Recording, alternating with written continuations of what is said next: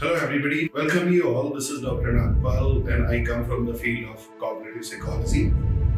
I'm really happy that today I'm directly speaking to the teachers or the people who are responsible for making the contents go with the students. You would agree that in 21st century, the world is changing so fast and I should say rapidly. In seconds, the humanity is making lots of changes.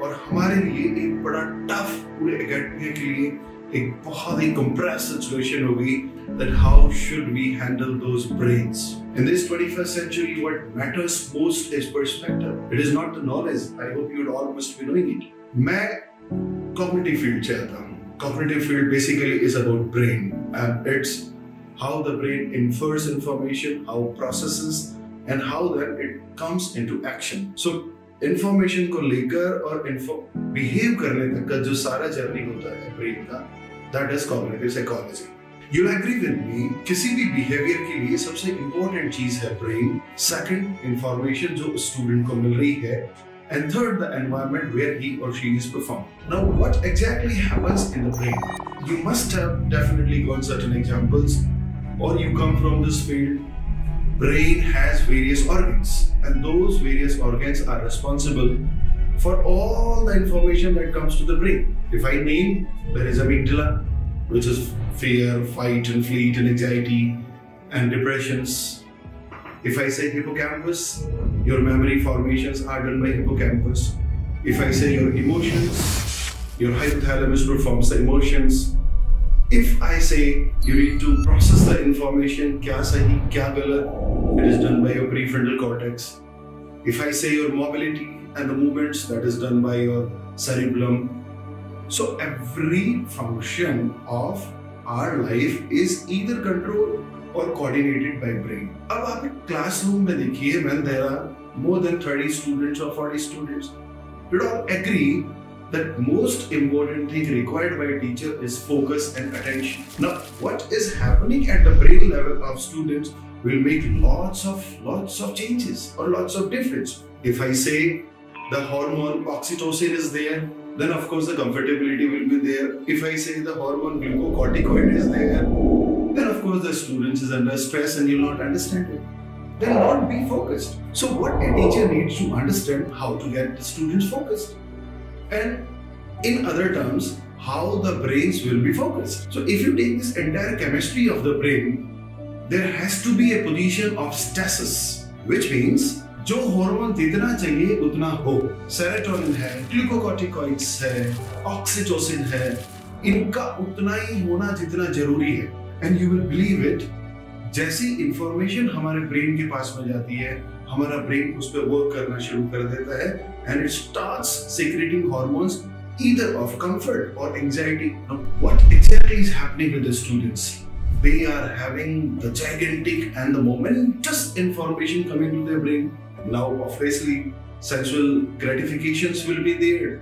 There will be sensory memory will be enhanced and they will remain distracted. But can we give an injection to the students where we bring their brain to the stasis? Medically, yes but functionally it is not the right way. That is why on the basis of neuroscience, on the basis of neurogenesis, on the basis of psychology, on the basis of philosophy, we designed this program which is known as Brain Gym. What we do in this program, we try to bring the brain in a situation of comfortability by working on it there are various technologies, there are various methods, scientific evidence-based research when the student's brain is subjected to certain exercises and certain audio stimulants. Then the brain's organs are recalibrated. And at the end, what you get? You get the best player with best skills. I mean, you get the best student with best focus. So this entire program is designed to help all the teachers or all the academic institutions where by means of scientific intervention, the student's brain is activated, focused, and the perspective building is done. Not only that, there will be lots of another academic integrated programs in it. Ultimately, to make those students happy, to make our society prosperous, and to make education centers happy places. Okay, एक situation को समझते हैं. What is the difference between a good student and not a good student? I hope the behavior is the only parameter to judge a student whether it is good or not good. What are those parameters of being good? Habits, self studies, discipline, obedience, empathy, sympathy, consistency, perspective. These are the characters of a good brain or the good student.